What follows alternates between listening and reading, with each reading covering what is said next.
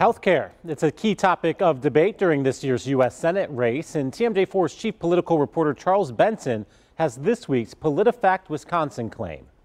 Democrat Mandela Barnes is facing a number of attack ads since winning the nomination in August, including a claim by the National Republican Senatorial Committee, or NRSC. It claimed that Democrat Mandela Barnes supports stripping health care away from millions of Americans. PolitiFact Wisconsin says the NRSC's claim is based on Barnes' support for various Medicare for All proposals.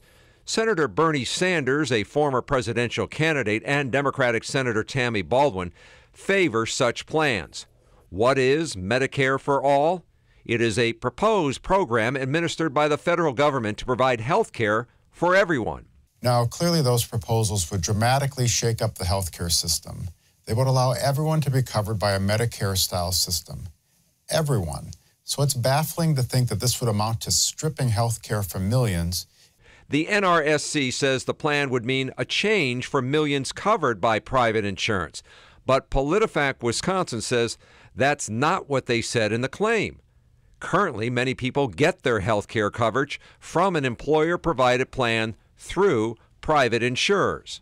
So, the bottom line Barnes has expressed his support for Medicare for all.